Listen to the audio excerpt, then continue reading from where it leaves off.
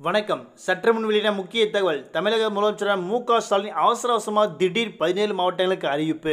அது என்னன்னா இந்த வீடியோ நாம் இப்போ ப்ரீஃபாக பார்க்க போகிறோம் மறக்காமல் ஸ்கிப் பண்ண பாருங்கள் உங்களுக்கு இதே போன்ற முக்கியமான தகவல் தமிழக அரசு என்ன உத்தரவு கொண்டாடுறாங்க ரேஷன் அட்டை என்ன புதிய அறிவிப்பு பண்ணிட்டாங்க எல்லாமே நம்மளோட சேனலில் டெய்லி வீடியோ அப்லோட் பண்ணிட்டு இருக்கோம் விசிட் பண்ணி பாருங்கள் உங்களுக்கு எல்லா வீடியோ உடனுக்குடன் தேவை அப்படின்னா நம்மளோட சேனலை கீழே இருக்க இருக்க பட்டனை கிளிக் பண்ணி சப்ஸ்கிரைப் பண்ணிங்க பக்கத்துக்கு பில் பட்டனும் கிளிக் பண்ணிங்க அப்போ தான் நான் டெய்லி போகிற வீடியோ உங்களுக்காக வந்து சேரும்.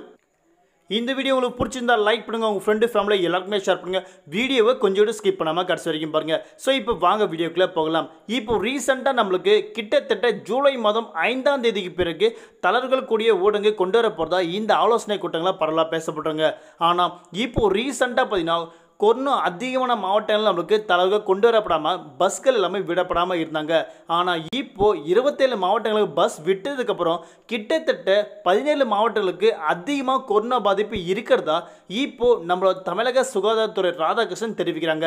இந்த மாதிரி பட்சத்தில் இந்த பதினேழு மாவட்டங்கள் மீண்டும் லாக்டவுன் செய்யப்படுமா அப்படின்னும் அச்சப்படுறாங்க. அந்த பதினேழு மாவட்டங்கள் என்னென்ன அப்படின்றத கன்ஃபார்மாக இப்போ நம்ம பார்த்துலாம் இப்போ ரீசெண்டாக அந்த பதினேழு மாவட்டங்கள் என்னென்ன அப்படின்னா கள்ளக்குறிச்சி தஞ்சாவூர் மதுரை திருவண்ணாமலை நெல்லை ஆகிய மாவட்டங்களில் கொரோனா கேஸ்கள் தொடர்ந்து குறையாமல் உயர்ந்து வருகிறது.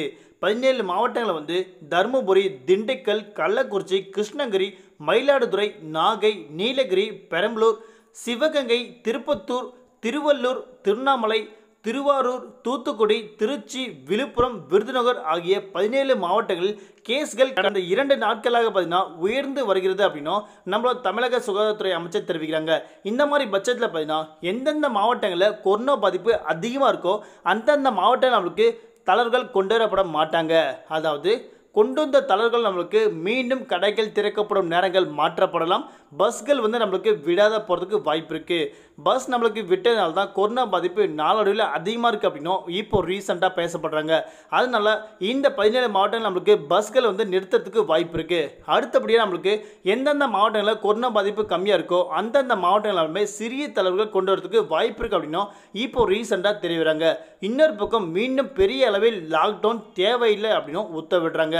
தளர்வுகளை கொண்டு வரலாம். அதே சமயம் கட்டுப்பாடு பகுதிகளை தனியாக பிரித்து கவனம் செலுத்தலாம் என்று கூறியுள்ளனர். அதன்படி கோயம்புத்தூர் நீலகிரி திருப்பூர் ஈரோடு சேலம் கரூர் நாமக்கல் தஞ்சாவூர் திருவள்ளூர் நாகப்பட்டினம் மயிலாடுதுறை ஆகிய மாவட்டங்களில் கேஸ்கள் குறைந்து வருதுங்க அதாவது இந்தந்த மாவட்டங்களில் கேஸ்கள் குறைஞ்சி வரதுனால நம்மளுக்கு திரும்ப அந்தந்த இடத்துல வந்து நம்மளுக்கு லாக்டவுன் நீடிக்கப்பட மாட்டாங்க. அதாவது கடைகள் திறக்கப்படும் நேரத்தை வந்து நம்மளுக்கு நீடிக்கப்படுறதுக்கு வாய்ப்பு இருக்குது இது எல்லாமே இந்த ஆலோசனை கூட்டங்களாக பரவலாக பேசப்பட்டாங்க.